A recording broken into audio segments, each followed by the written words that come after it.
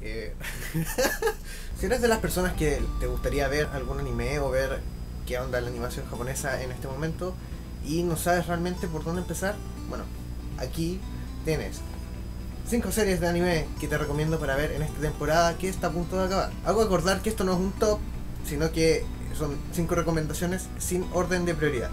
Número 1. Overlord. Imagina que eres un chico que despierta en un mundo virtual en donde puedes hacer cosas increíbles y no sé, todas esas tramas que son exactamente iguales. Bueno, Overlord es eh, increíblemente creativa en eso. Nos muestra un mundo donde el personaje principal, es decir, el chico que queda atrapado en, lo tiene todo, tiene todo el poder y está viendo qué onda con el mundo. Ahora, lo malo de esta trama es que esta persona queda atrapada en este mundo y este mundo de repente se vuelve como real y tiene que averiguar el por qué. Pero en algún momento él se enfoca más en entender ese mundo de entender el por qué está ahí. Esto recuerda un poco a Logo Horizon. Logo Horizon partía por mucha gente que se quedó atrapada en un mundo virtual, pero después a nadie le importaba. A nadie le importa por qué están ahí. ¿Qué pasó con sus cuerpos? ¿Están vivos? ¿Están muertos? Ese tipo de preguntas a nadie le importan. Número 2. Gate. Gate es una serie original porque eh, es una trama de fantasía, pero que se toma en serio a sí misma. ¿Por qué digo esto? Hay muchas tramas de fantasía en donde la fantasía llega a desbordar en su imaginación y pasan Deus ex máquina por todos lados. Es decir, aparecen cosas que eh, al plot eh, les facilita que aparezcan. No sé, en poderes especiales, etc. Bueno, la cosa es que Gate se enfoca en el mundo real, o sea, en, en un mundo real que se colisiona con un mundo de fantasía. Entonces tenemos a personas que piensan como una persona de este plano existencial y que se enfrenta a, la fantasía, pero con armas de fuego.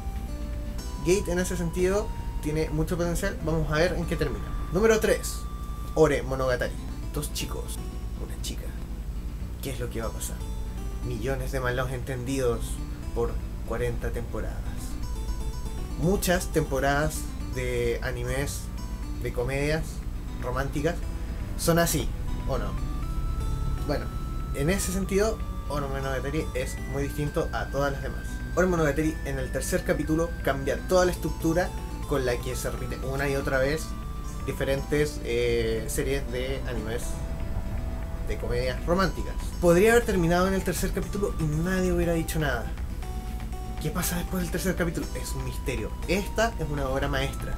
Por Dios, me está diciendo qué es lo que pasa después de que terminan los malos entendidos. Eso jamás se había dicho. Es un misterio. A nadie le interesan relaciones estables. Queda un capítulo. Vamos a ver cómo termina. Número 4. Charlotte. Charlotte eh, la trajo el mismo estudio que nos trajo a Angel Beats hace un tiempo. Para aquellos que lo vieron, sabrán que eh, tiene una animación increíble. Charlotte es exactamente igual. Tiene una visualidad impecable. Un eye candy. Es decir, eh, lo disfruto. Disfruto ver cada capítulo. Muy bonito. Es una trama ligera. Tiene un poquito de todo. Tiene un poco de drama, tiene un poco de comedia. Para los que vieron Angel Beats van a, ver, eh, esto se repite. Sin duda, eh, yo creo que Charlotte fue de las mejores series que vi en esta temporada. Voy a ver qué va a pasar al final. También queda un capítulo. Número 5. Gangsta. Gangsta me costó verla. No la vi de lleno porque no me convencía la trama cuando leí un poco acerca de qué se trata. Comencé a verla y todo eso me taparon la boca. Gangsta recuerda mucho a series como Gangrave, eh, Helsing. La cosa es que es una serie para adultos.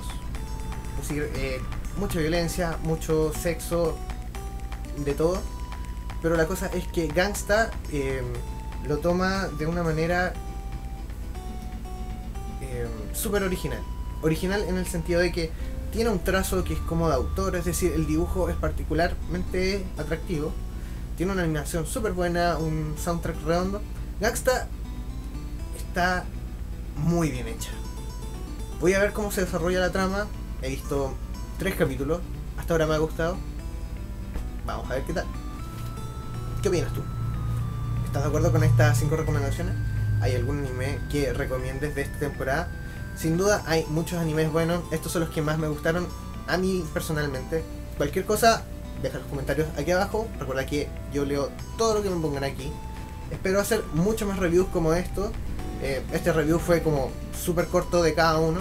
Pero espero poder centrarme en alguno, hablar acerca de los pros y contras y sacarle rollo un poco a ciertas eh, obras audiovisuales de anime, películas, lo que sea audiovisual. Francisco K se despide. Adiós.